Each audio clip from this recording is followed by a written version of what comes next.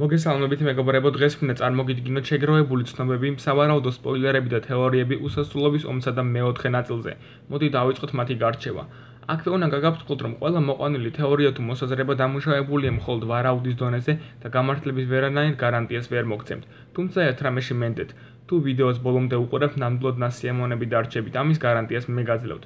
არ მკითხოთ, რატომ ვიტყვი იმას, რასაც მომდევნო წუთებში გაიგონებთ ვიდეოში, უბრალოდ ჩართეთ ის, მოკალოთ და დავიწყეთ. პირველად დავიწყოთ მოსაზრებით, რომლის მიხედვითაც შესაძლოა მეოთხე ნაწილში სულაც არ იყოს მთავარი მოვლენა დროში მოგზაურობა. კი, რა თქმა უნდა, დროში მოგზაურობის თეორიები თითქმის სრულყოფილია. განდაღებებიდანაც გვაქვს სურათები, სადაც კაპიტანს ხედავთ ძველი ფორმით და სტარკს, რომელსაც სიბერე ეპარება.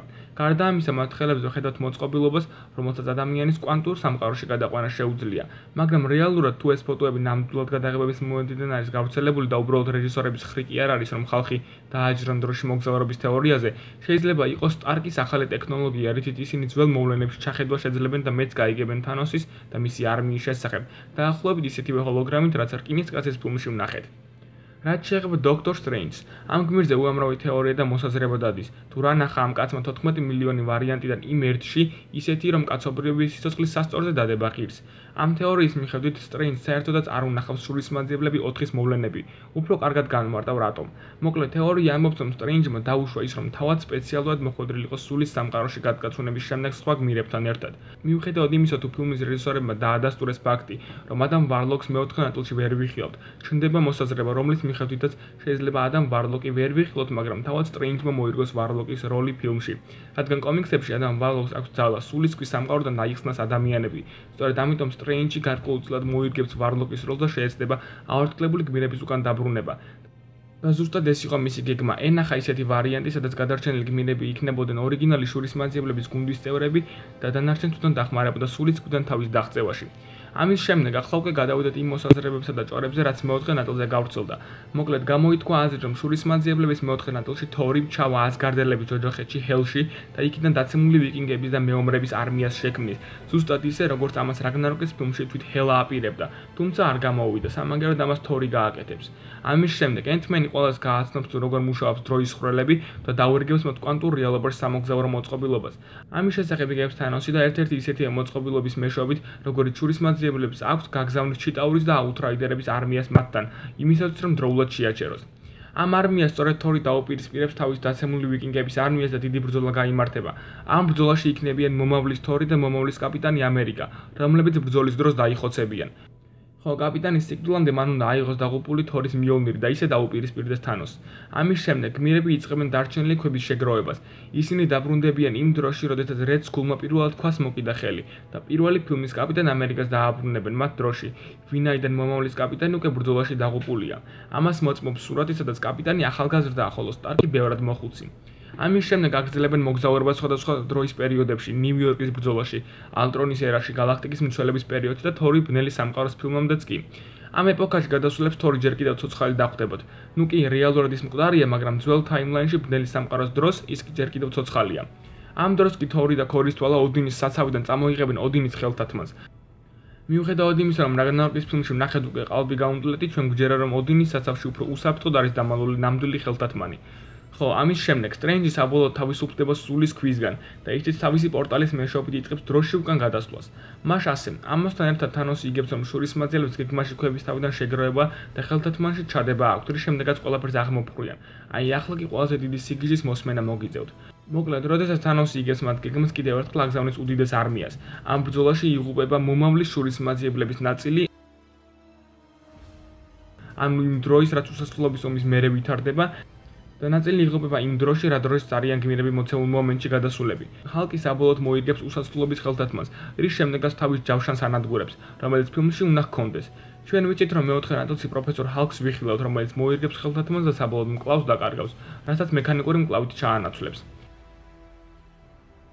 ტონი შური და ბენერი ერთად დააწყობენ მისიონს, რომელიც ქვაზე არ იქნება დამოკიდებული. როდესაც ჯერი სულის კონდე მივიდა მისი მოპოვების დრო დადგება, ნებულას დახმარებით სტარკი და კაპიტანი დაბრუნებიან იმ დროში, როცა სულის ქვა ჯერ კიდევ ადგილზეა და მივლენ ვორმირის პლანეტაზე. იქ დახვდებოდ რეცკული. ამის დანახვაზე კაპიტანი გაკურებულია ბუნებრივი. რეცკული გააცნობს გმირებს სულის ქვის მოპოვების პრინციპს, როდესაც გაიგებენ რომ უნდა დაკარგონ ის, რაც უყვართ, ერთმანეთს შეხედავენ.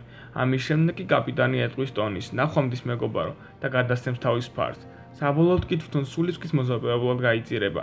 ხომ ხვდებით აქ რამდენად კარგად გაესვა ხაზი კაპიტანის და სტარკის მეგობრობასა და სიყვარულს. საბოლოოდ კაპიტანი ეწერება სულის ქვას. ქვას თვითონ სტარკი დაეუფლება. სტივის სიკვდილის წინ ტონის ეუბნება, რომ იმ ქვეყნად აუცილებლად მოუღება მამამის მისი შვილის და მისი მიღწევების შესახებ. რამდენიმე მოსაზრებით თანახმად ეს სცენა საკმაოდ ემოციურ სტილში იქნება გადაწყვეტილი. ჰალკი, ნებულა და როკეტი უკან დაბრუნებიან დროში, სადაც ჰალკი შეებრძოლება რონანს, გატეხავს მის ჩაქურთს, მოკლავს მას და დაეუფლება ძალაუფლების ქვის სრულ ძალას. ფილმში უნდა ვიხილოთ სულ ორი გაუნტლეტი. ერთი ხელთათმანი, რომელსაც სტარკი ააწყობს და მეორე, რომელსაც თორი და ქორისთვალა წამოიღებენ ოდინის საცავიდან. ამის შემდეგ ძინა თეორიებში გიხსენეთ მოსაზრება, რომლის მიხედვითაც თანოს სულის სკოში კეტავენ, მაგრამ არის ის ვარიანტიც, რომ მეოთხე ნაწილში თანოსი შეეწირება ბრძოლას და უსასრულობის ხელთათმანი განადგურდება. ამის შემდეგ კი განადგურებული ქვის ენერგიას დაეუფლება სტარკი. წარმოქმნა არ მოხს ამას როგორ შეძლებს, ამიტომაც ნუ მკითხავთ ნურაფერს და ეხლა რაც უნდა ვთქვა, ნურც იმაზე მკითხავთ, რადგან მაინც არ გიპასუხებთ. მოკლედ, როდესაც სტარკი ამ ენერგიას თავის თავში მოათავსებს, მისი ფიზიკური სხეული ვერ გაუძლებს ამ ხელად ძალას და ის გარდაიქმნება მარადიულ არსებად, რომელსაც კანგი ეწოდება. ხოლო ფილმის ბოლო 20 წუთი იქნება მთლიანი ბრძოლა, გაღმერთებულ მარადისობის არსება კანგს და მთლიან გუნდს შორის. ისინი რა თქმა უნდა ვერ დაამარცხებენ მას, ამიტომაც სტრენჯი დაბრუნება დროში უკან და მოკლავს ტონის, რადგან ის არ გახდეს მარადისობის არსების ნაწილი. თუ ფილმის ეს სავარაუდო დასასრული მაინდამაინც არ მოგწონთ, შეგიძლიათ დატოვოთ ის, რომლის მიხედვითაც ბოლო ბრძოლაში, რომელიც ვაკანდაში გამართება, ნებულა დაქვემდებარებაში იქნება სულის სკვა და ამით ის თანოს დაამწყდებს სულის სამყაროში. ხოლო ფილმის პოსტკრედიტ სცენაში იქნება ნაჩვენები ალტრონის გამოღვიძება და სცენა, სადაც ბაკი მიიღებს ყუთს, რომლის გახსნის შემდეგაც აღმოაჩენს სტივის ფარს და ფორმას. ყუთს კი აწერია, მას უნდა რომ ეს შენ გეტარებინა. მოკლედ ეს ინფორმაცია ვნახე ინტერნეტში, რა თქმა უნდა, ალბათ იმის შეხსენება არ მჭირდება, რომ არანაირ ოფიციალურობას ადგილი არ აქვს. ეს არის უბრალოდ გავრცელებული ჭორები, ალბათ უფრო ვიდრე სპოილერები, ამიტომაც ჩათვალეთ, რომ ამ ვიდეოში უბრალოდ მოისმინეთ საინტერესო მოსაზრებები. Ну ბოლო ნაწილის მე თვითონაც არ მჯერა რომ სტარკის მოკლა წარსულში მოუწევთ. ორი აზრი არ არის რომ ეს მოსაზრებები თავიდან ბოლომდე არ გამართლება მაგრამ ალბათ მაინც იქნება რაღაც მსგავსი რაც ვიდეოში მოისმინეთ. ასეთი ვიდეო მეტი ნამდვილად აღარ იქნება იმიტომ რაღაც სასწაულები ვილაპარაკებ შემდეგში უფრო რეალურ თეორიებს და მოსაზრებებს წარმოგიდგენთ. დღეისათვის კი სულ ეს იყო.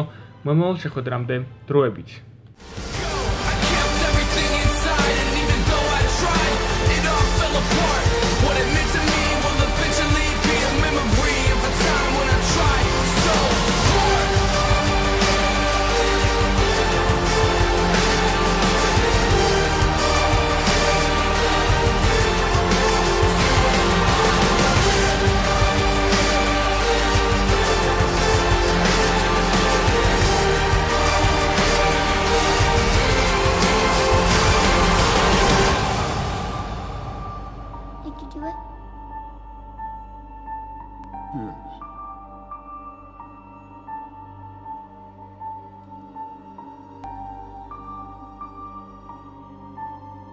did it cost? Everything.